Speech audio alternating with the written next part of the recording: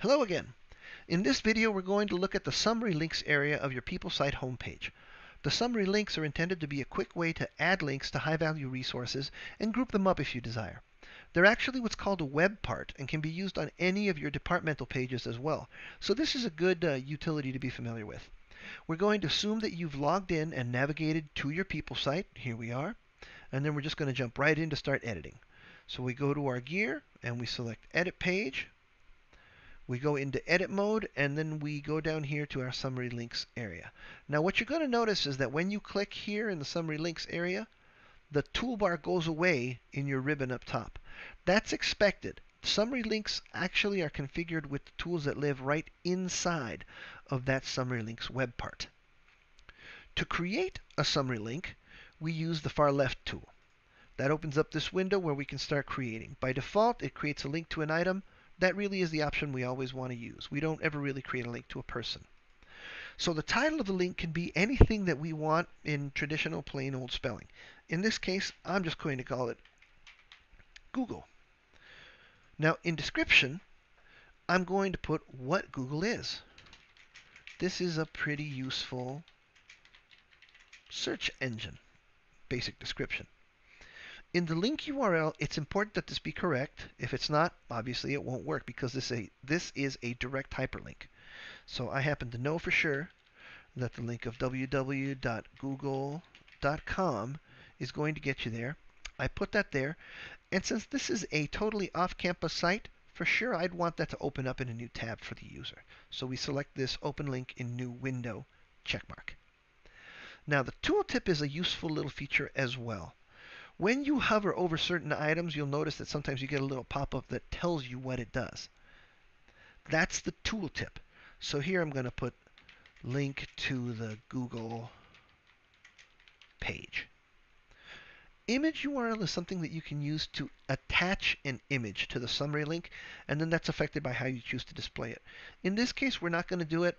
We have uh, another on-demand video that's created for how to work with images and format them, change their sizes, and load them into your web page. You'd need to go through that process and make sure that you have an image loaded if it's one that you want to use. If this is an image off of the internet that you would like to use, you can just plug that value directly into here. Now in this case, I don't have an image URL.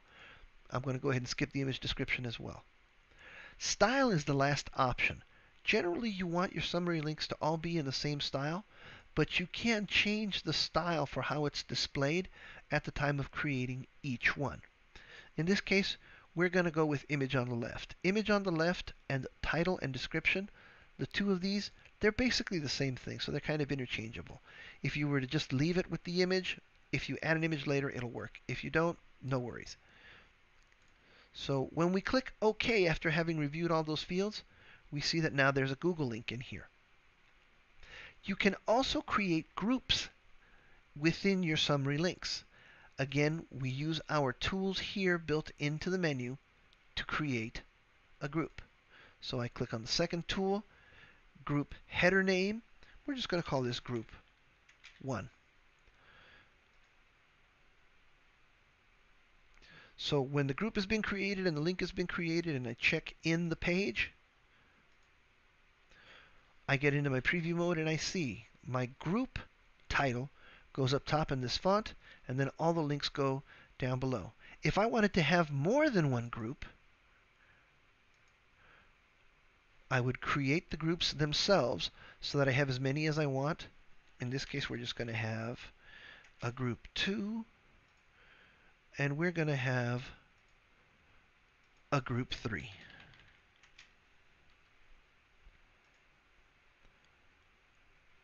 If I have multiple groups, when I go to create new summary links, you're going to see this field that was disabled before is now available.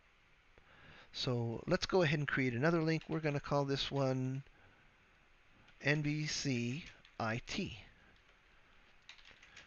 The Napa Valley College IT Department home page. We're going to put a long description in so you can see what it looks like. Now when I go to put in the link, I can put in the full link, but because this is a campus-based website, this portion of the URL, this entire first part, the http www.napavalley.edu, SharePoint would understand if I only put in a slash that this is based on our college website. So it automatically fills in all the rest. So to get to the IT page, I would simply put in IT for the URL. And since this is an internal, I might not want it to open on an external link. So I'm going to leave that unchecked.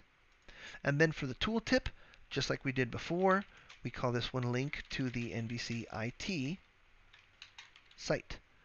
And again, I'm not using descriptions for the images. In the groups, I'm going to go ahead and assign this to group 2. And maybe in this case, I'm going to use a different style, just so that we have some variation. So we're going to put title with background, and we're going to say OK. Well, there we go. There's group 1 with the original link.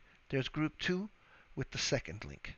I'm going to go ahead and add one more link, just so that we have some variety of what we're working with here. So in this case,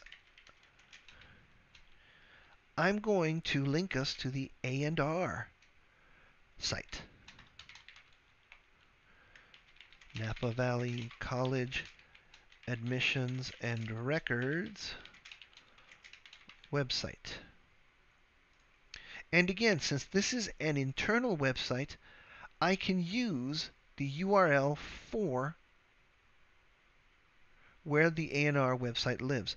In this case, it's not quite as simple as the URL that we would use for the IT web page. In this case, it's napavalley.edu slash student services slash AR. But again, you see I left off the first part of the URL, so there's no HTTP triple dub. It's just student services AR. Again, it's an internal site. Again, for the tooltip, link to A&R site. And in this case, now I'm going to put it in group 3, and I'm going to go with a bulleted title, and I'm going to say OK. So now that I've created my three groups and my three links, I'm going to go ahead and check in the page to see what it looks like. So here we are. This is our preview mode. Group 1 with that Google link. Group 2 with that NVC link to the IT page. Group 3 with that NVC link to the A&R site with a bulleted title. Once it's all ready, I publish the draft and then these links are going to be available. As we had noted before, if I click on this Google link, it is going to open a new tab that I can close and I'm still able to see my web pages here in the background. If I were to click on the A&R site link, and I close that out, it brings me right back. If I were to click on the NVCIT link because I didn't tell it, this window has now navigated. I actually have to use the back button in my browser to get back to where I was. So that's it for the summary link parts. You can see that they're pretty easy to work with and configure. Feel free to work with them as much as you can, change them around, change the styles, and experiment till you get them looking exactly as you want. That concludes this video.